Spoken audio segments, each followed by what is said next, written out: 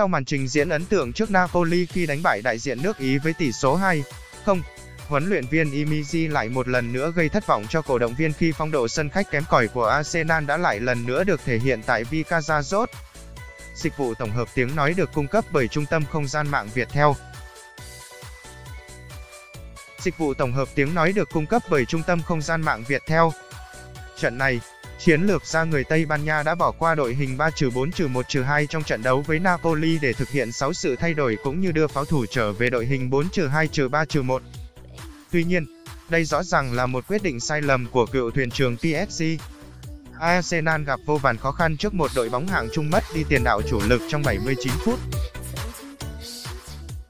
Sau trận đấu này, dĩ nhiên là một bộ phận không nhỏ cổ động viên của đội bóng thành Bắc London lại tiếp tục hướng sự chỉ trích vào Unai Emery. Thế nhưng đừng quên, để có thể vực dậy một đế chế Arsenal đổ nát hậu kỷ nguyên Arsenal Wenger là điều không hề dễ dàng. Và thực tế là chỉ với kinh phí chuyển nhượng ít ỏi, nhưng Unai Emery đang tạo ra những thay đổi thực sự ở Arsenal nếu xét trên góc độ những con số thống kê. Bản quyền thuộc về trung tâm không gian mạng Việt theo. Sau 33 vòng đấu, Arsenal hiện tại có 20 chiến thắng, 6 trận hòa và để thua 7 trận cũng như có 66 lần xuyên thủng mảnh lưới các đối thủ.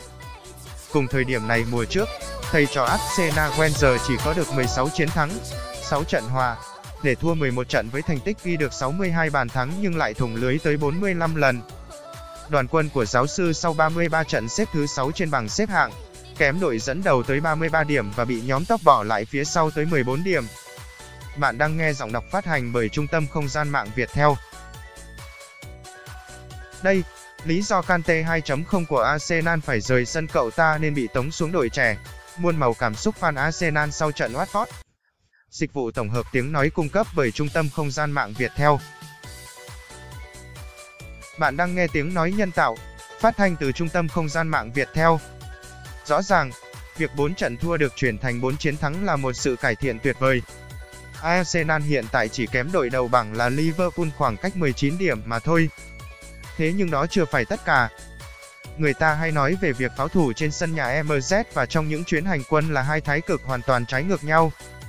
Thế nhưng so sánh thống kê mùa giải năm nay cùng mùa 2017-2018, Unai Emery đã mang đến những thay đổi phải nói là vô cùng tích cực.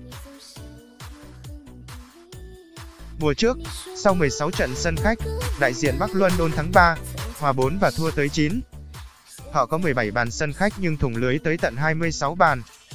Thế nhưng chỉ một năm sau, dưới bàn tay dẫn dắt của Unai Emery, Arsenal bị chỉ trích là đánh mất bản sắc tấn công hoa mỹ thế nhưng lại có tới 6 chiến thắng, 4 lần chia điểm và chỉ có 6 lần trắng tay mà thôi. 27 bàn thắng, 28 bàn thua, hiệu số âm 1 hiển nhiên là một tiến bộ vượt bậc. Bản quyền của Trung tâm Không gian mạng Việt theo. Dịch vụ tổng hợp tiếng nói được phát triển bởi Trung tâm Không gian mạng Việt theo. Tất nhiên, thông số này vẫn là rất tệ cho một câu lạc bộ được xem là ông lớn nước Anh. Dẫu vậy, với những khó khăn mà Unai Emery gặp phải, với nguồn ngân sách eo hẹp mà thượng tầng MZ rót xuống, sẽ là quá bất công nếu ai đó trong chúng ta không công nhận tài năng của ông thầy người Tây Ban Nha.